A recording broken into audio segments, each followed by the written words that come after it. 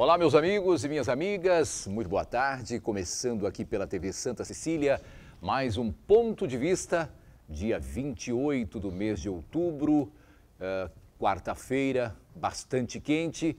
E hoje, pelo calendário religioso, é o dia de São Judas Tadeu, o santo das causas impossíveis. E a gente tem tanto para pedir para São Judas, tanto que agradecer também esse ano tão difícil, né? Causas impossíveis. E a, acho que o maior pedido de todos aí é a cura, é, né? é, o, é, é, a vacina, a cura, o que vier aí. Mas, de qualquer forma, registrando aqui, porque São Benedito, é, São, o, o São Benedito, é, São Judas tem aí, é, por todo o Brasil, muitas igrejas e neste dia muito movimentado. Claro que nessa pandemia, não é? as coisas estão um pouco mais cuidadosas, mas de qualquer forma há muitas é, comemorações aí nesse dia do Santo das Causas Impossíveis. E para alguns tem tanta coisa tão impossível aí que nessa campanha eleitoral só Deus né, descendo na terra para ajudar o que está acontecendo por aqui. No programa de hoje eu recebo aqui o Aldo Santos Pinto, que é o gerente jurídico da Santa Casa de Santos. Aldo, boa tarde. Boa tarde, Altair. É, boa tarde, colegas da bancada. Felizes as suas palavras. E hoje também é dia do servidor público. E aqui é, nós, advogados, sabemos o valor que o servidor público, principalmente aquele vinculado ao tribuna, aos tribunais, é, o valor que eles têm tido durante essa pandemia, trabalhando em home office, alguns já retornaram ao trabalho presencial e nós sabemos que eles estão contribuindo muito para que a justiça continue é, sendo é, observada e acolhida para os cidadãos. Então, também aqui registro o Dia do Servidor Público é, encaminhando a todos aqueles que estiverem assistindo é, essa, esse registro, essa homenagem e pedindo também, por fineza, que transmitam aos demais que não estão assistindo ao programa. Bom, se a minha esquerda, hoje eu recebo aqui o Aldo Santos Pinto, à minha direita, o Joaquim Fernandes, advogado criminalista. Boa tarde, Joaquim. Boa tarde, Altair de Marco. É uma felicidade estar ao lado de um dos maiores cidadãos cambaraenses. Muito obrigado. Esta importante metrópole é, produziu ao longo do tempo. É emocionante, Marcos, é emocionante estar aqui com um cambaraense. É, é, da, gema. da gema. Da gema. Da gema. Da Quantas gema. vezes eu vou encontrar um cambaraense na vida? E também aí ao lado, é. querido advogado, amigo doutor Aldo Santos Pinto, gerente da Santa Casa, gerente jurídico da Santa Casa, que bem lembrou o dia do funcionário público hoje, esses valorosos servidores, especialmente os da justiça, com quem nós temos mais contato, que realmente fazem o tribunal andar. Né? E ao meu querido e intenso, é um homem bom, viu, Altair? Ele é um homem bom. Marcos Santana, um homem bom. Um cidadão do bem, Um cidadão do bem, um homem bom. Está precisando de um banho de abre caminho, mas ele, de fato, é um, estou hoje aqui ao lado dele para não ter dúvidas e não ter brigas. Olha, difícil, vai ser difícil. Você que está em casa hoje, difícil para mim levar esse programa. Começou assim de uma maneira muito leve. Aliás, a leve além da conta. Meu querido amigo Joaquim, ele pega cada peça, né? Bom, mas é, homem bom ou não, meu querido Marcos Santana. Boa tarde, Marcos. O Joaquim, a gente não briga, a gente desconcorda, é vamos dizer assim. Desconcorda, é verdade. o, boa tarde a todos. O Aldo ele foi muito feliz em lembrar é, a importância do servidor público, ainda mais num dia, que no dia, no dia seguinte, há um, degre, um decreto para mais do que controverso, é, assinado pelo presidente Jair Bolsonaro, porque na prática significa a privatização dos serviços básicos de saúde. Então, o Aldo, hoje acho que ele vai concordar comigo, é, por, por, por valorizar, por, por, saber a importância do servidor público e também a importância do, do, atendimento universal da saúde, ele vai concordar comigo de que esse decreto do presidente Jair Bolsonaro ele vai na contramão do bom senso da história. Eu quero cumprimentar você que nos acompanha ao vivo, convidar você a participar também do programa, mandando sua pergunta, crítica, sugestão pelo Facebook ponto de vista ponto baixada ou então por e-mail contato arroba ponto de vista ponto tv ponto br. O programa também pode ser acompanhado ao vivo pela internet santaportal.com.br/tv. As edições anteriores do ponto de vista ficam disponíveis na internet também, no nosso canal no YouTube e na nossa página no Facebook. E você que acompanha a reprise às 20 horas, uma boa noite. Olha, só para completar aqui, Marcos, é, meus amigos aqui, colocando o Joadinho aqui, lá de Cambará, né? E também minha família, amigos do Mato Grosso, de Ribeirão Preto, que, que entram em contato comigo sempre, eles me veem, nos veem aqui através do Santa Portal, que eu tenho passado para eles, quase que em tempo real, em tempo real. Né? Então, é uma imagem maravilhosa no Santa Portal, as pessoas baixam o Santa Portal em qualquer lugar do Brasil e acompanham o nosso programa. Uma, uma bela imagem, sensacional. É o que eles estão nos vendo lá todos os dias. E fico muito agradecido pela referência do Joaquim aqui. Mas olha, eu quero só uh, colocar os números aqui do Covid. Hoje nós estamos chegando, gente, a 157.981, quase 158 mil mortos pelo Covid no Brasil e mais de 5 milhões 440 mil infectados. 158 mil. Nessa proporção aí, nós devemos chegar aí no, em dezembro, né? Com um número aí de 180, 190 mil, beirando os 200 mil mortos. É um número bastante grande. Graças a Deus, os números vêm caindo dia a dia e isso é muito importante. Mas é importante que você tome os devidos cuidados, ok? Joaquim, eu quero começar o programa aqui com uma notícia que eu tenho aqui, que o Estado é condenado a pagar 200 mil reais à viúva do carcereiro morto em assalto aqui em Santos. Foi o, Tribunal de Justiça de São Paulo que condenou o Estado a pagar essa indenização de 200 mil reais à, à viúva, né? do, da pessoa que foi morta aqui em Santos, é, do marido que morreu, carcereiro, Cláudio Roberto é, de Larcos, é isso?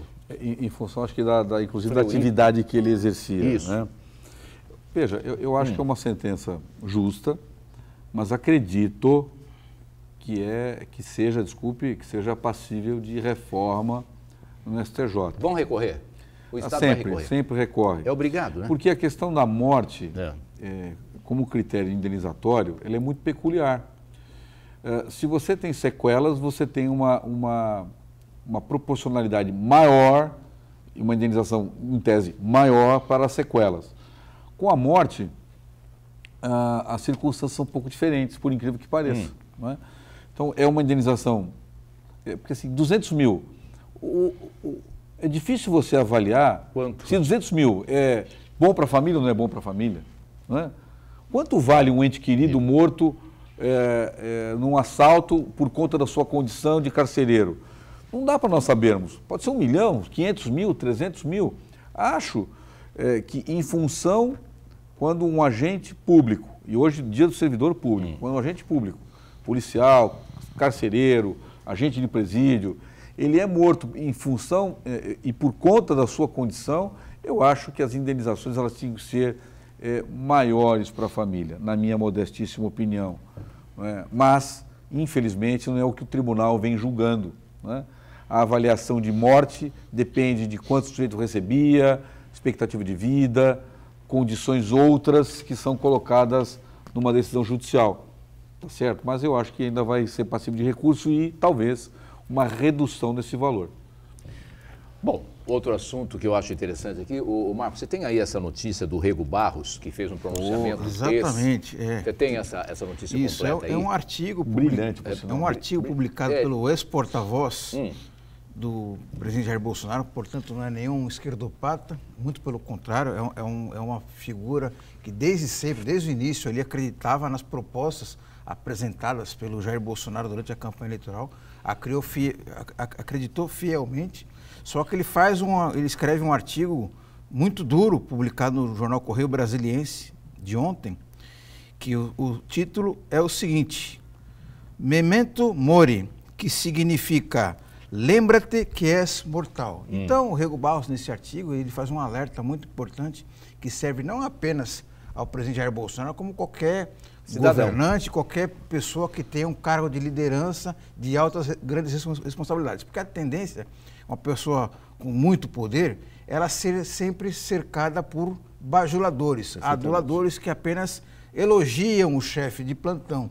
E na prática, o, o, o, o chefe de plantão aí, o líder, ele é, embriagado com essa série de elogios, com essa adulação, ele deixa de ouvir aquelas pessoas que realmente fazem aquela crítica construtiva. E, esse, e essa, na verdade, foi a grande razão de que Rego Barros e diversas outras pessoas foram praticamente ejetadas do governo. Então, o Rego Barros, ele faz esse alerta muito importante e ele faz uma analogia a, ao rio Rubicão, né? aquele rio que foi atravessado pelo, pelo imperador romano, e ele diz o seguinte, que o grande rio Rubicão vai ser o eleitor. O eleitor, sim, com, a sua sabedoria, ele vai saber diferenciar o que, que o, o, o, onde o governante acerta e deve ser elogiado e onde ele erra e, e não deve ser adulado. Então, acho que é, um, é, um, é uma grande reflexão.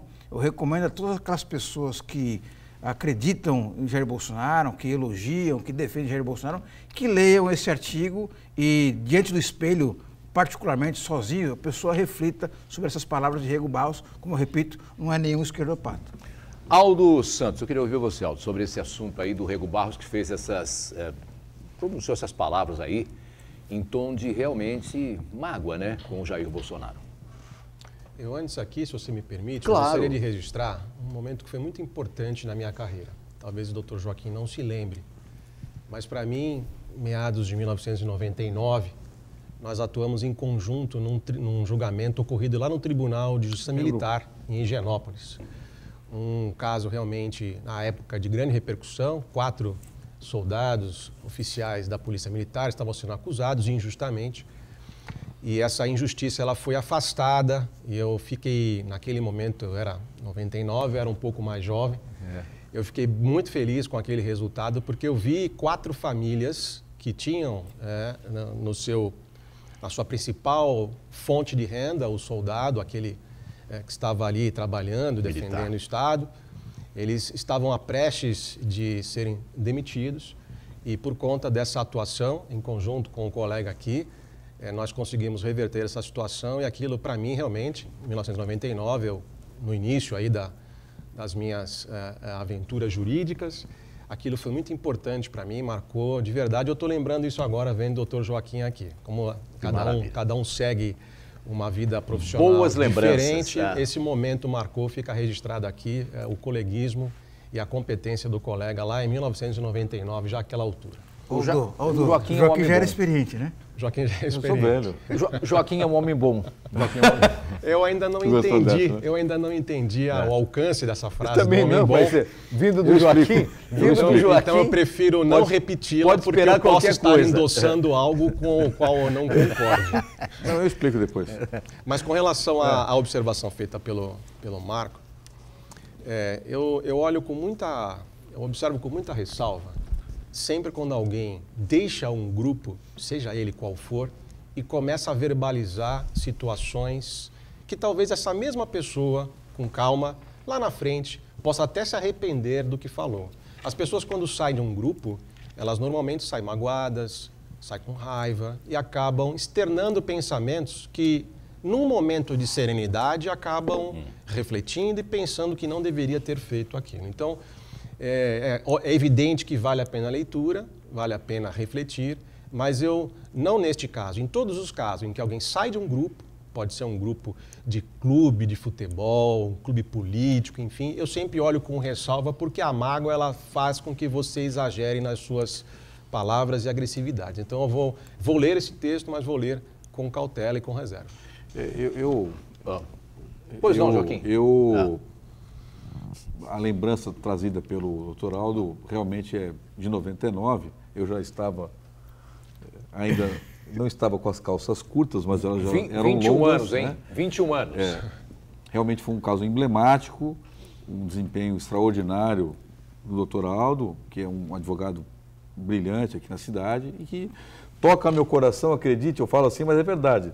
Toca meu coração com uma, com uma com um, fato ocorrido há tanto tempo atrás e que eh, talvez eu, eu, tivesse esquecido de fato pela importância que realmente o caso teve, eh, mas principalmente pelo contato muito próximo que nós tivemos com outros colegas juntos também, mas que a defesa naquele momento era basicamente doutor Aldo e eu defendendo os, os, policiais militares. Então, realmente é uma lembrança muito legal. Muito obrigado viu, pela lembrança e eu retribuo todos os elogios também a você, porque foi brilhante naquele momento. Agora, quanto ao texto, eu vou divergir de você no que diz respeito ao comentário ao texto do Rego Barros. O texto é brilhante, brilhante, uma escrita impecável, bem escrito, bem né, impecável. Ele não fala o nome do presidente em nenhum momento, mas ele, ele faz uma radiografia de poder interessante. O que me, eu, eu entendo. Em determinado claro, momento ele, ele coloca que o poder corrompe, o poder isso, inebriante. É inebriante. É, é, inebriante. Veja, é. é. eu entendo que, de fato, é, quando um, alguém se desgarra do grupo, sai de um determinado grupo político, recreativo, nunca sai feliz. Rarissimamente alguém sai feliz. Mas o problema é que a gente vem acompanhando que todas as pessoas que vêm saindo do grupo originário é, do presidente Bolsonaro carrega mágoas profundas. Uma coisa é você ser ressentido levemente, a outra coisa é você ser absolutamente magoado. E o caso para mim mais assim é, é, que me chama a atenção é do Gustavo Bibiano. Né? Gustavo Bibiano, que foi o cara que mais apoiou o Bolsonaro na campanha, foi o cara que emprestou apoio político, talvez financeiro, etc. Morreu de mágoa, né? segundo até os seus parentes mais próximos. Mas esse texto do Rego Barros, ele serviria para qualquer presidente de companhia, diretor de programa, apresentador, advogado, é, prefeito, qualquer um. Que ele diz, olha, você sempre terá bajuladores ao seu lado. Uhum. Não é? As, é? Porque assim, eu imagino num nível de presidente da República que o sujeito fale é, alguma coisa, todo mundo com presidente.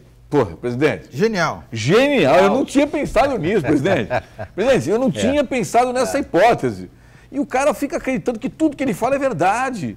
É absolutamente a expressão da verdade. Então, um texto muito elegante. Ele se refere, inclusive, aos militares. Né?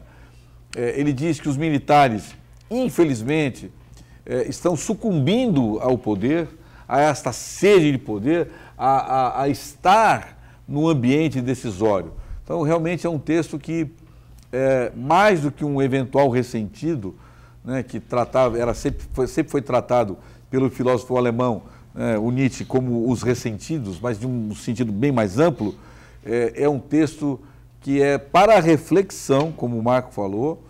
Hoje eu estou concordando com você, hein? Por enquanto. Para chegar e ler e falar assim: caramba, o poder é tudo isso mesmo?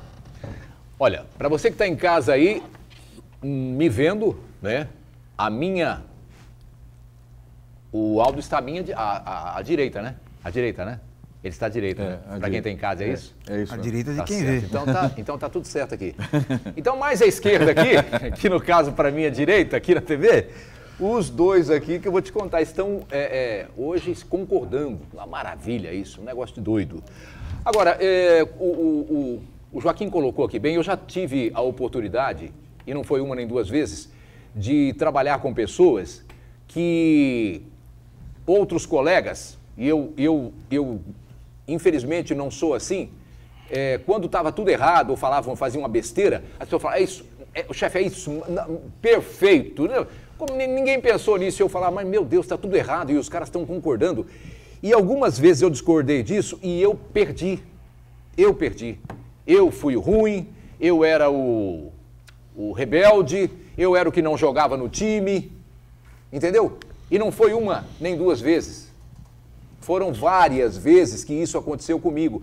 Mas eu não, eu, eu não consigo, quando eu gosto de uma pessoa e ela está fazendo alguma coisa errada, e eu concordar com a coisa errada que ela está fazendo. No mínimo, eu posso até me calar, mas jamais vou concordar com isso. Jamais eu vou endossar que ela continue fazendo aquilo. Se eu não tiver coragem e não tiver meios, não achar meios de mostrar a ela qual é o outro lado, ou pelo menos que eu penso que seja, eu vou me calar, mas jamais vou aplaudir e o que tem de puxa-saco.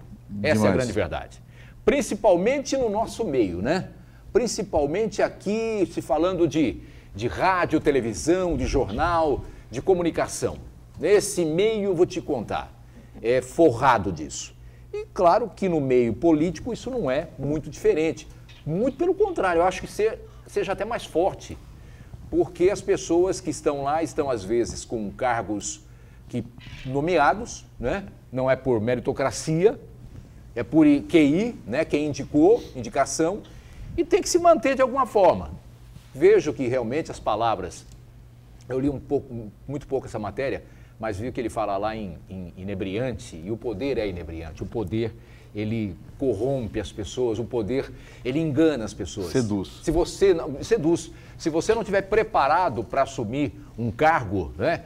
Eu já ouvia muito no interior, se conhecer o vilão, dele o bastão, né? Se você quer conhecer o vilão, dele o bastão. Quando o homem não preparado tem ah, o poder na mão, a coisa fica difícil. Alguma coisa você queira completar, Marcos? Eu acho que a gente tem que destacar o papel dos militares que, que se prestam a esse tipo de, de papel, né? Por conta aí de, de, de, de um, acréscimo ao seu soldo ali, porque eles vão para os ministérios, mas não abrem mão da, da, do seu soldo ali, do, do, seu rendimento mesmo que na, na reserva.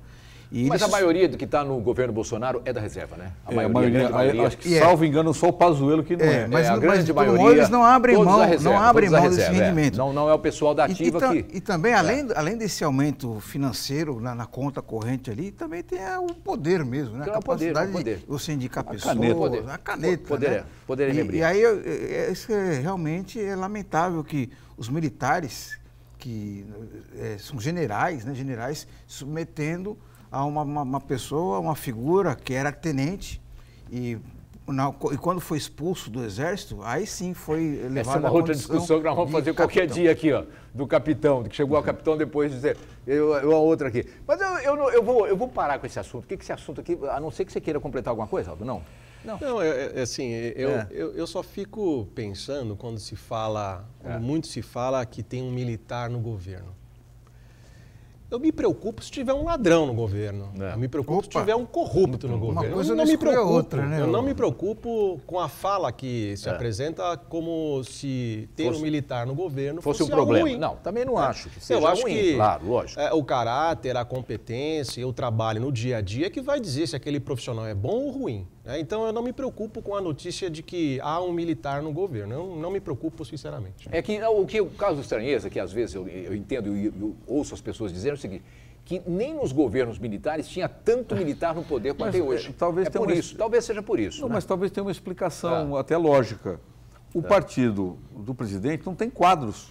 Também pode né? ser, é. E não tem quadro. Não estava preparado para isso. Não estava preparado, então, como não tem quadro, eu vou pôr o que e, tenho a mostra. Joaquim, como consequência disso que você está falando, e até o, o, o, o Aldo tocou na palavra competência, quer dizer, capacidade para exercer o cargo.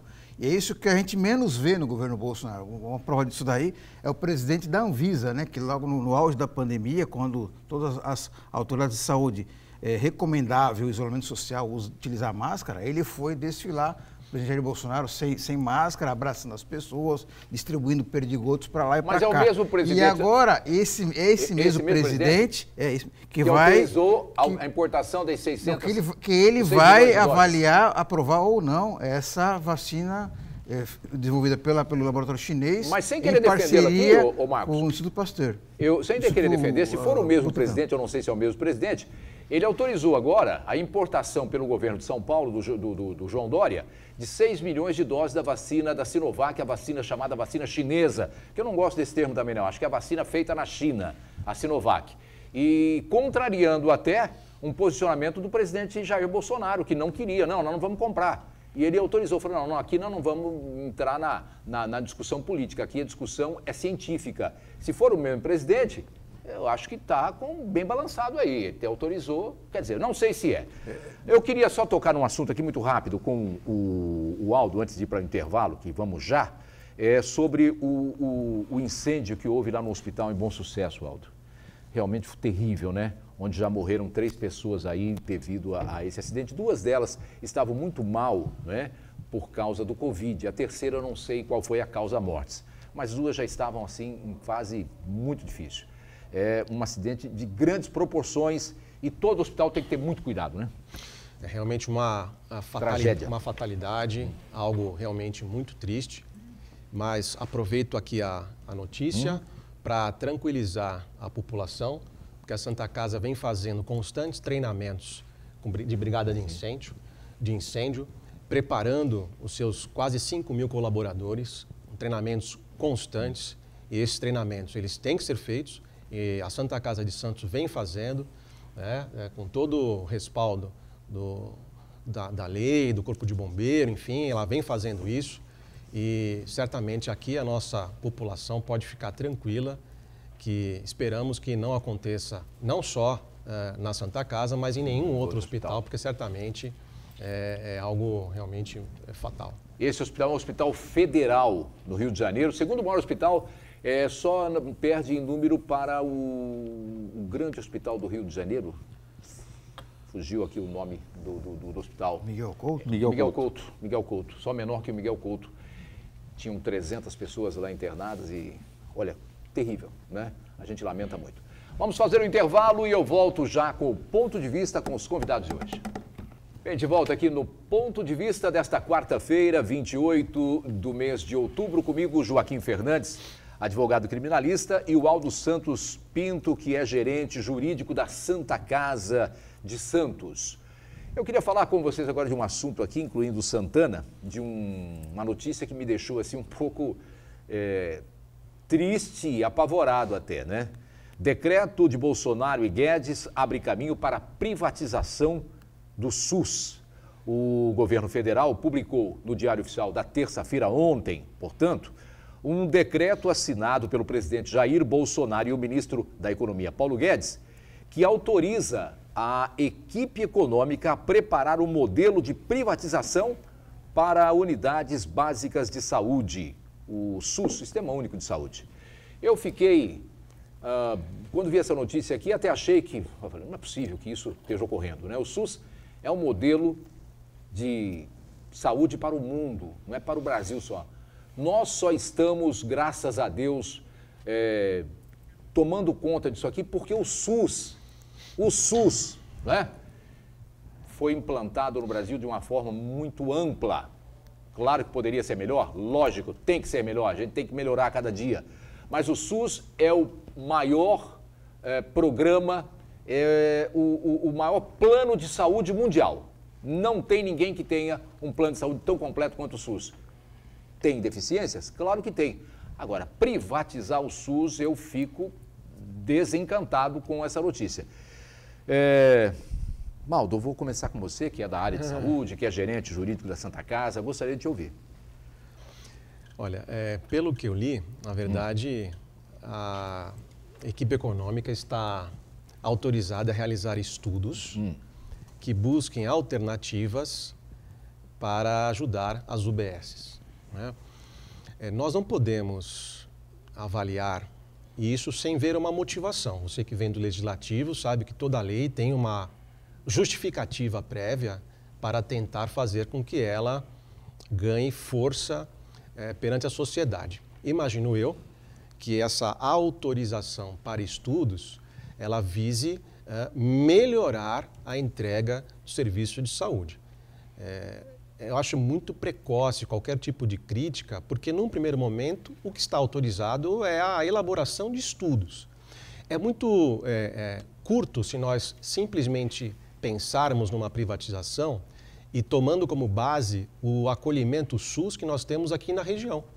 Aqui na região é evidente que sempre há uma questão ou outra pontual com relação à fila, a número de cirurgias que poderiam ser feitas e isso vem do gestor SUS, né? mas nós aqui na região não enfrentamos, por exemplo, na pandemia, problemas com leitos hospitalares. Uhum. Né?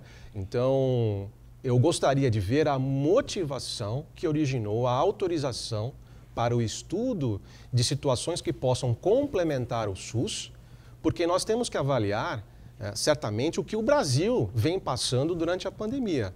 Nós não podemos avaliar de maneira curta, como eu disse, de maneira rasa, simplesmente olhando o SUS aqui na nossa região. Né? Então, eu gostaria de ter acesso a essa motivação e, ainda com cautela, eu esperarei o, a elaboração desse relatório final para que eu possa, então, poder opinar uh, de maneira correta. Opinar por opinar, falar por falar, sem ver o que está acontecendo, uh, não combina comigo e assim eu não farei. Joaquim, você leu a Olha, matéria? Eu li, né? Eu, assim, eu- você sabe que eu, eu- eu gosto do debate, né? Eu gosto do debate. É, E, e, assim, e eu vou pegar a última pedaço da fala do Aldo para eu poder me posicionar. Eu não acho que, ah, nesse momento, a gente fazendo, emitindo nossa opinião, nós estamos sendo precipitados. Porque senão, nós vamos ter que sempre esperar chegar no final de alguma coisa para começar uma discussão quando ela já está posta. Quando a gente começa a discutir a, questão do decreto, estudos para o SUS. Veja, não é uma boa coisa começando nesse momento, né? Porque assim, é, é o gato subir no telhado. Né? O gato subir no telhado. Ah, quais são os detalhamentos que isto nós vamos saber para que o, o que tipo de motivação teve para um decreto dessa natureza? Veja, o decreto é ato de vontade do presidente.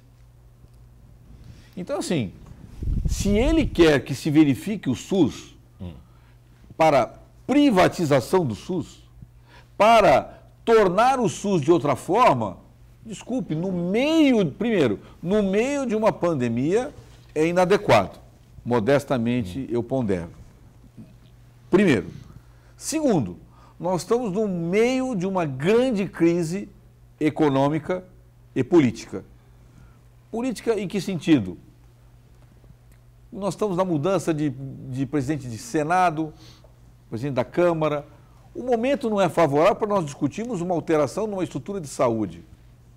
Nós precisamos, como você bem disse, eh, Altair, melhorar o que nós temos. Porque, de fato, a capilaridade do sistema SUS, com todas as suas divisões e subdivisões, é que talvez tenha impedido o Brasil de ficar pior do que ficou. Muito, muito. Não, é? não dá para nós compararmos com a Itália, porque o cara está lá no norte da Itália, para o cara chegar até onde ele vai ser atendido, ele demora um dia. Não é? Então, assim, então, na verdade, o que nós estamos colocando aqui de, de ponderação, e aí modestamente divergindo, divergindo do meu amigo Aldo, é de que nós estamos discutindo a possibilidade real, pelo decreto, de nós estarmos discutindo aquilo que é inimaginável neste momento.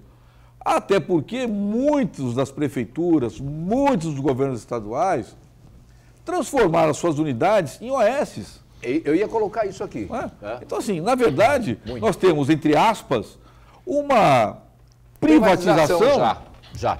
é, é, uma, uma privatização é, A nível municipal. A nível, a Soft. nível- soft.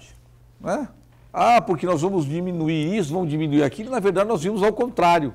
não é? O custo é, para as prefeituras praticamente permaneceu inalterado, com o risco transferido para a administração. Então, é, me preocupa bastante a forma como esse decreto, no momento, repito, no momento em que ele é editado e nas condições em que ele sugere para, olha só, a equipe econômica discutir isso e não a sua estrutura de saúde. Doutor Aldo, o senhor queria falar? Por favor, fique à Não, vontade. é, na verdade, essa divergência, Ah. ela não é para o mal. É uma divergência, é, certamente, buscando entender aquilo que for melhor para o SUS. Com certeza. com certeza. É, o trabalho de estudo que eu venho fazendo junto à Comissão em Defesa das Santas Casas na OAB São Paulo, doutor Joaquim sabe Verdade. do trabalho que é feito lá, nós já identificamos, por exemplo, isso aí é um, é um- é número, que 1.104, 1.105 municípios no país, eles possuem um único hospital e esse único hospital, ele é um hospital filantrópico. né? Será que essas regiões não precisam de um auxílio? Será que essas regiões estão, essas cidades, municípios, eles estão suportando? Eu- entendo a questão do momento, se é um momento político ou não, mas o momento, ele na verdade escancarou dados. Ele foi um momento que escancarou números. Acho que nunca eh, tivemos uma atualização tão importante, principalmente com relação a leitos. né? Volto a repetir, aqui na região nós não tivemos problemas de falta de leitos, mas diversas situações ocorreram, nós sabemos, Brasil afora, pela ausência de leitos. Então, eu ainda, eh, de boa fé, prefiro acreditar que esses estudos, é evidentemente que esses estudos somente feitos pela equipe econômica, ele é um estudo que não pode ser eh, levado a uma conclusão definitiva, não tem como nós deixarmos de incluir nesses estudos que podem alterar o SUS. Uma equipe focada na saúde, mas esse debate ele tem que servir, a meu ver, para que o telespectador, para que o cidadão também busque saber o que está acontecendo. Nós não podemos simplesmente olhar o trem passar e depois reclamar ao final da estação. Olha, eu, eu, eu entendo aqui os dois lados da, da história, vou passar o Marcos também para que ele conclua isso, mas eu vejo que a, a saúde, se não fosse as santas casas, como colocou aqui o Aldo do Brasil inteiro, né?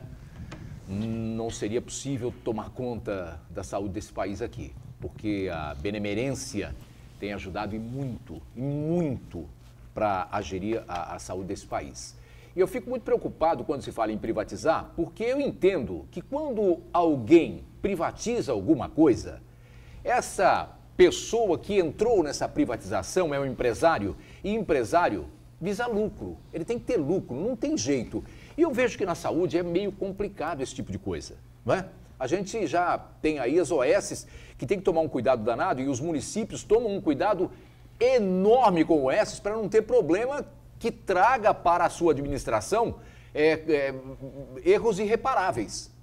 Então, privatizar o SUS para mim seria assim um crime da maior gravidade possível. Eu acho que o governo tem que suprir as santas casas, né, os hospitais do, do Brasil, os municípios do Brasil, os municípios brasileiros, os mais longínquos, de alguma forma, mas é, dessa forma de privatizar o SUS, eu particularmente, dentro da minha ignorância, do meu pouco conhecimento dentro da, da disso tudo, sou terminantemente contrário. Pois não, Marcos. O Altair, amigos, eu acho, e quem nos acompanha, eu acho que nós temos que prestar atenção em três palavras em tudo que nós conversamos aqui. Primeiro, decreto. Segunda, é, privatização e terceira básica. Primeiro decreto, o Joaquim lembrou muito bem aqui. O decreto autoriza para a equipe econômica fazer estudos. Não se falou em momento nenhum em ouvir os especialistas, o pessoal da área de saúde, o Conselho Nacional de, de, de Saúde, os cientistas, sanitaristas, especialistas em, em saúde pública. O decreto não fala disso. Quer dizer, na verdade, o governo Bolsonaro vem com o prato pronto. Ele vai vir com um modelo pré-acabado, é, acabado, é, vai privatizar como se um modelo que se, se, se, se, se adota para privatizar uma rodovia. Quando a gente percebe que é completamente diferente você privatizar um serviço de, que depende de vidas de, das pessoas, da saúde das, das pessoas, e privatizar uma rodovia. Outro ponto interessante também, você tocou, é, citou muito bem, o, o Altair, é, quando você diz privatizar, você vai entregar aquele serviço para exploração, a palavra é essa, da iniciativa privada. A iniciativa privada, o empresário, ele busca o lucro. Ele busca o lucro. E muitas vezes, o que, que ele vai fazer? Ele, ele vai entregar menos que o, o, o poder público atualmente oferece. Por quê? Porque ele quer ter uma margem de lucro para o quê? Para colocar esse, essa diferença no bolso. Sem dúvida. É, e outra palavra que, que me chama, que eu quero chamar a atenção, que fala assim, atenção básica da saúde, que de básica só tem o nome, porque é extremamente complexa. O número de unidades de saúde existente no Brasil, o serviço público é, oferecido, a capilaridade, a quantidade de serviços oferecidos, desde a da vacinação de cachorros, de animais, que, Completa, que passa né? pelo SUS, Completa. passa por procedimentos de média complexidade e até mesmo tratamentos de alta complexidade, como por exemplo o tratamento de, de câncer e ou, ou grandes cirurgias. Isso daí passa sim pelo a, núcleo de, a, o, o, centro de atenção, é, sistema de atenção básica da saúde. Então, você, como é que você vai entregar isso para a iniciativa privada? Uma empresa só vai, vai gerir todo o sistema único de saúde do Brasil? Você vai fatiar esse sistema de saúde? Quer dizer, é, é, esse tipo de proposta ela vem nebulosa num momento em que, mais, mais do que nunca, o, o, atendimento público na área de saúde se demonstrou fundamental, porque acabamos de sair da pandemia. Imagina se tivesse apenas atendimento particular na saúde. Bom, a pessoa vou... que não tem plano de saúde, o quê? Ia morrer. Eu vou fazer intervalo e você volta. É, é rápido? É rápido. Então, é. Eu, eu, eu, só quero ler o texto tá. do decreto. É o decreto 10.530 de 26 de outubro de 2020. É. Eu troquei de óculos, eu não enxergo. Está tá escrito assim, ó fica qualificada no âmbito do Programa de Parcerias de Investimentos da Presidência da República, PPI, a política de fomento ao setor de atenção primária à saúde, agora, detalhe, para fins de elaboração de estudos e alternativas de parcerias com a iniciativa privada para construção, modernização e operação das unidades básicas de saúde. É completo, o sistema é completo. Isso, isso me parece, sabe o quê? Só para ir para o intervalo agora. Me parece que essa proposta foi mais ou menos a feita na reforma da Previdência, quando você iria fazer a sua carteira privada. Foi a mesma, né? Você ia pagar a sua aposentadoria, lembra disso? Você ia, e que rodou. Eu acho que é a mesma coisa, cai no mesmo, na, na mesma vala comum. Intervalo e a gente volta já. Continuamos aqui no ponto de vista desta quarta-feira, hoje com o Aldo Santos Pinto, gerente jurídico da Santa Casa, e com o Joaquim Fernandes, advogado criminal. Falávamos aqui da privatização do SUS e aqui no intervalo eu perguntei ao Aldo a proporção de atendimento da Santa Casa é, para o SUS mensal. Eu gostaria que você falasse sobre isso, Aldo. Acho de suma importância que a gente faça essa comparação, até porque a Santa Casa é uma cidade, né? É um mundo. É, o intervalo ele, é. ele foi para o telespectador, né? Nós aqui continuamos o assunto. Debatendo. É. é. e é importante que se esclareça. Algumas pessoas, há algum tempo atrás, confundiam a Santa Casa com o serviço público. Uhum. Na verdade, a Santa Casa é uma entidade privada que presta serviços ao SUS mediante contratos específicos e recebe especificamente pelos serviços prestados. É, algumas pessoas, quando confundem a Santa Casa ao poder público, imaginam que por receber verba pública tem que atender tudo. Na verdade, ela atende tudo que está contratualizado para se atender. Se ela assim não fizer, ela evidentemente não conseguirá funcionar. Né? E a, ainda no intervalo, o Altair perguntou a proporção. A Santa Casa ela atende 60% dos seus atendimentos são atendimentos SUS. 60% são atendimentos SUS. Os outros 40%, ela presta serviços para particulares e plano de saúde, e sem esse essencial atendimento particular uhum. de 40%, ela não conseguiria suprir todos os atendimentos SUS, porque nós sabemos que o atendimento SUS ele é deficitário. Né? Imagine uh, se nós formos mal comparando, mas um exemplo, se nós formos à padaria hoje, né, comprar um pãozinho hoje, fala, não, eu quero pagar o pão de 13, com o preço de 13 anos atrás. Essa padaria não se sustenta. Então, o serviço prestado ao SUS, ele tem uma remuneração inferior ao que de fato os insumos, a mão de obra, ela merece é, receber para os tempos atuais. Então, feitas essas considerações, é, ainda que da forma como se iniciou o decreto, para qual equipe do governo que foi endereçada, os estudos, eu acho que nós temos que acompanhar esses estudos, porque de repente, depois complementados pelas áreas de saúde científica, esses estudos podem criar alternativas que melhorem. Nós não podemos pensar que já sabemos tudo. Nós podemos sim buscar novos estudos constantemente e, quem sabe, eh, melhorar ainda mais o atendimento SUS. Eu espero que realmente isso ocorra de verdade, mas eu ainda fico com o SUS do jeito que está. Santa Casa recebe, eh, eu não sei nem se o Aldo tem esses números, né, mas uh, um atendimento na Santa Casa lá, uma, uma cirurgia, é, o SUS, um, um, parto. Quanto é que um parto hoje, o, o mas é uma, é, é, é, assim, fala, mas é brincadeira, vocês estão, vocês estão errados, vocês estão com brincadeira. Não é isso que a Santa Casa recebe do governo por um parto, por uma cesariana. Gente, é um dinheiro tão pequeno, né? Que não cobre, acho que nem a lavanderia da Santa Casa. De qualquer forma, isso é que tem que melhorar. Bom, é, um outro assunto que eu queria abordar no programa de hoje aqui, a direção da Câmara decide por unanimidade caso Flor Delis vai para o Conselho de Ética. Agora, agora vai. Agora vai, Joaquim. Cara, isso, olha, isso é uma das coisas mais estúpidas que existem na face da Terra. É. Porque mulher é, é, responde a uma ação penal por ter, junto com filhos, é, atentado contra a vida do marido. Não satisfeito, as investigações mostram que a família já vivia um verdadeiro pandemônio, palavra que o Marco gosta bastante. Né? Eu quero entender quando é que um, um, um deputado vai ser realmente cometer a infração ao decoro parlamentar. O que, que ele precisa fazer? Matar ele já matou, né? Segundo a, segundo assim, a polícia, segundo é, o Ministério Público, ela já está com tornozeleira. Por mais, né? Veja, por mais que eu presuma a é. inocência, que ela deve ser presumida, a inocência, ela não foi condenada, tudo bem. Mas do ponto de vista político, ela tem outro, ela, ela tem outra abordagem. Veja, é claro, quem está falando aqui é o advogado também. Ah, mas ela não foi condenada, até porque na, na semana passada eu tive esse, esse dilema aqui no caso Robinho, que se aplica também a ela. Só que nós temos um problema político no Conselho de Ética. Os precedentes da Câmara em relação a é, ferir o Código de Ética do parlamentar são dos mais estapafúrdios. O sujeito pode ter qualquer tipo de problema que ele não vai ser punido nunca com a perda do mandato. E ela está com tornozeleira eletrônica, ela tem restrições de circulação.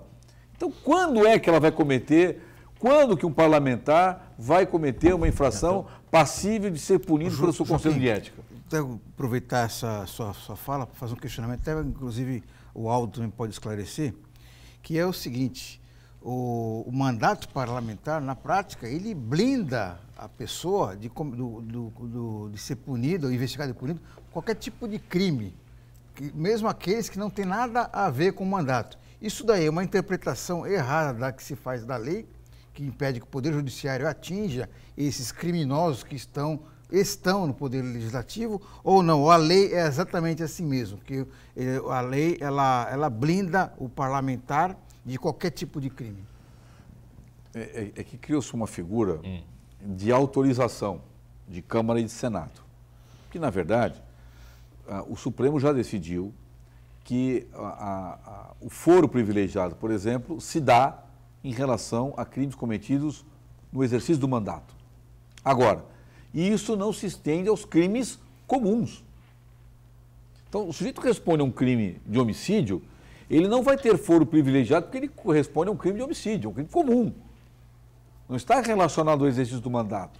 E no caso dela, especificamente, um crime gravíssimo, que, que ela poderia ser afastada até a solução da, da, da questão penal, porque isso depõe contra a, Câmara, contra a Casa Legislativa o, o, parlamentar ele não pode ser melhor do que todo o ser humano existente no Brasil, pô, que é o que acontece.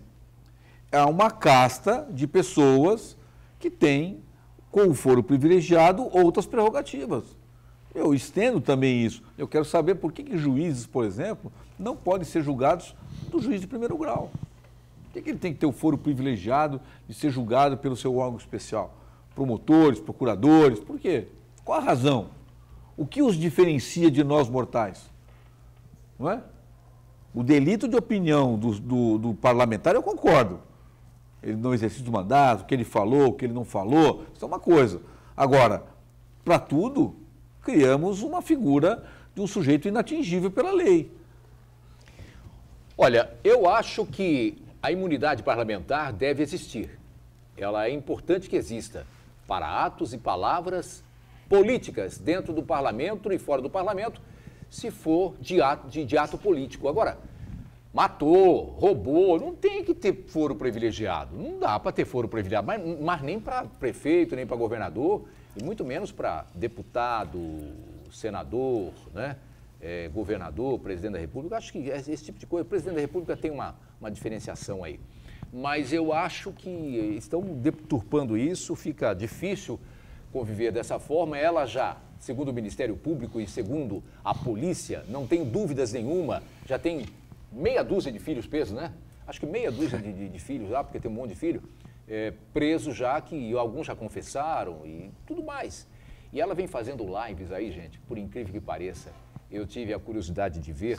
Ela fez, faz algumas Só lives. Só ela e o, né? os filhos da. Não, verdade. E ela tem seguidores que vocês não têm noção no Brasil inteiro existe uma milhares de seguidores da Flor de Lis, que não é flor que se cheire, segundo palavras do Santana aqui, né? que é um pandemônio esse negócio aí, complicado isso. Agora, é, quando você fala aqui, eu quero lembrar aqui que em 1963, se não me engano, o senador Arnon de Mello, que é pai do Fernando Collor de Mello, dentro do Senado matou um outro senador.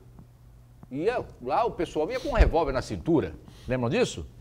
É um negócio que, então, se você está abismado com as coisas que acontecem hoje, ô Joaquim, lá atrás era muito pior, rapaz. Os caras, até morte dentro do Senado, é, uma das pessoas que quase morreu naquela época foi o, o, o senador Agripino Maia.